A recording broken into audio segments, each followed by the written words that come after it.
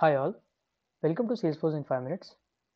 In this video, we are going to learn how to pass the data from the form that is from our HTML form to JS part. How to take the data, how to take the input data and then on click of the button how to pass that value from the HTML to JavaScript. But before I start coding or before I start this video, please consider subscribing to this channel. So let's get started. So now the basic goal of this video is that whatever input that I'm going to provide inside this email, phone, name, email, phone uh, field, if once I click on save, I want that all the values of this name, email and phone should be available to me inside the JavaScript as well. To do that, first I need to connect the, the button with the JavaScript. So now as soon as I click on this button, I want that the JavaScript code should get executed. To do that, we are going to use an on-click attribute of lightning button. So inside on-click, I'm going to write a function. And then I'm going to embed this function over here.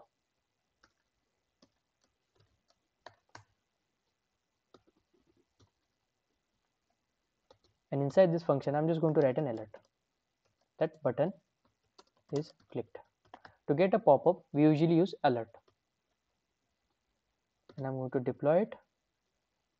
So now what is going to happen is that on click of this button, right? On click on this button on handle click, uh, on click of this button, a handle click function will work.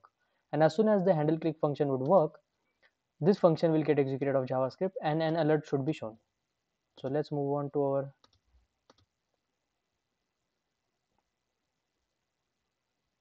Salesforce. Now, as soon as I click on the save button, an alert should pop up.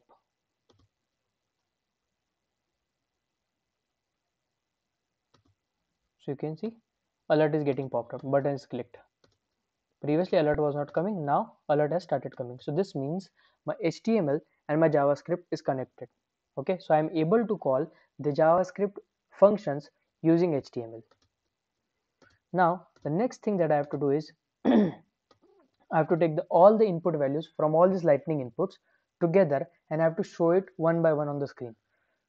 so the next goal is that I have to take the values of this input fields one by one and then I have to show it on the screen.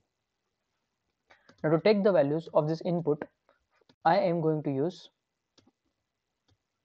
this dot template dot query selector all and then let's remove this and here I'm going to provide lightning input. So what this what this this statement is going to do is it's going to pull all the attributes regarding lightning inputs. So right now I have three lightning inputs. So it's going to fetch all of these lightning inputs one by one okay? And it's going to fetch all the attributes of all the lightning inputs. So I have three lightning inputs. So of all three lightning inputs I will be able to access those attributes like type variant name I will be able to access all these attributes one by one using this lightning input. So I have get uh, in using this statement I am, able to get all the lightning inputs and along with that I am also able to get all the attributes of this lightning input. Uh, now once I have received it I'm going to store it within a variable let's say variable loop right? Now as the values inside this lightning input it's not only one value right? There are multiple values of it. It's not just the one value. There are going to be multiple values of it right if there are multiple values i have to loop over this. Dot for each. I'm going to remove this for each. And then i'm going to write a function along with element. And i'm going to remove this. Now what's this going to do is what's this going to do is it's going to pull like, this loop has right now at the line number 6 this loop has all the lightning inputs along with all the attributes. Now i have to pull each lightning input one by one. So what i'm going to do is i'm going to just pull one lightning input using the for each loop. Then i'm going to go to the next lightning input. Then i'm going to go to the next lightning input to get the values one by one. And now and this elements element i just alert the element. The element that i'm getting from here this element describes all the attributes of lightning inputs all the attributes means text type sorry type variant name all these attributes are available inside this element but for each lightning input. Now if i go and refresh it so the pop-up should come three times because there are three lightning inputs and the for loop would run for three times and then hence the alert would also come for three times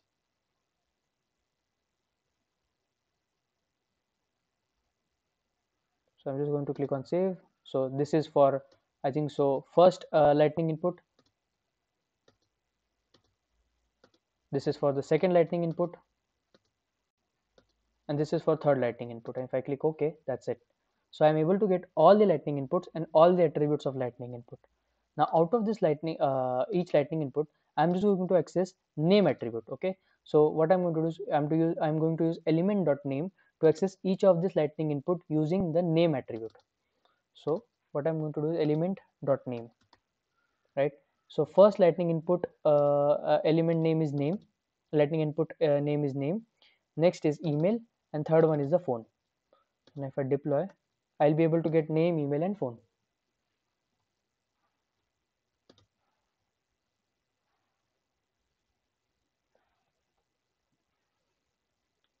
so as you can see first I got the attribute first one was name.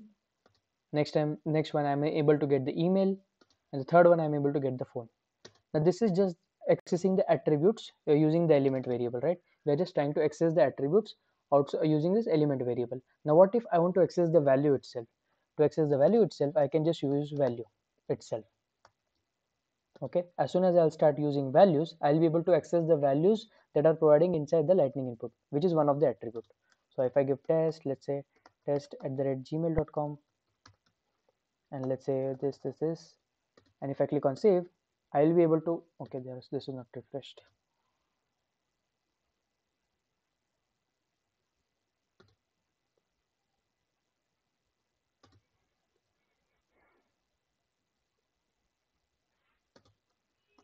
Test test at gmail.com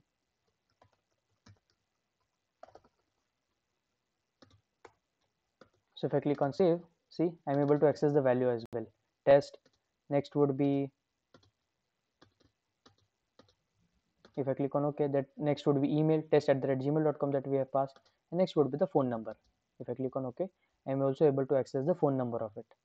Now what you can do is you can use the element.name to assign the values to each variable. So what you can do is you can create variables like a name right? Uh, where name and uh, or let's say just name right?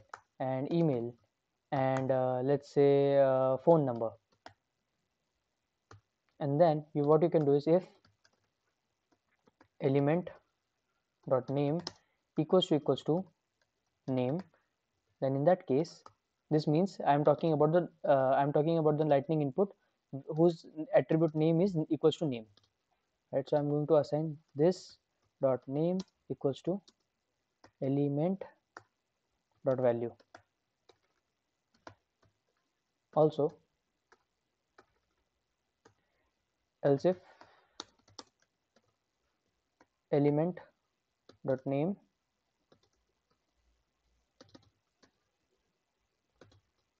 equals to let's say email then I'm going to store it inside the email variable.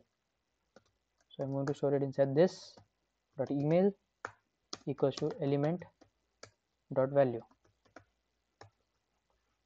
Else if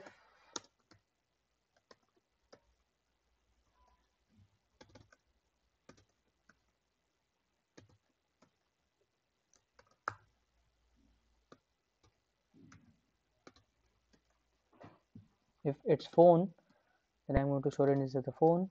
If element dot name equals to phone so I'm accessing those attributes. I'm checking whether that lightning input I'm talking about whether it's a name or other email or other phone using the element dot name attribute and then I'm assigning the values to the variable. Now once all these things is done I'm just going to print uh, alert saying alert name is let's say plus this dot name plus email is this dot email plus phone is this dot phone. Now once everything is done i will be able to access using like i'll be able to access, see the name email and phone number using that alert which is outside the for loop. Right so i'm going to give one more refresh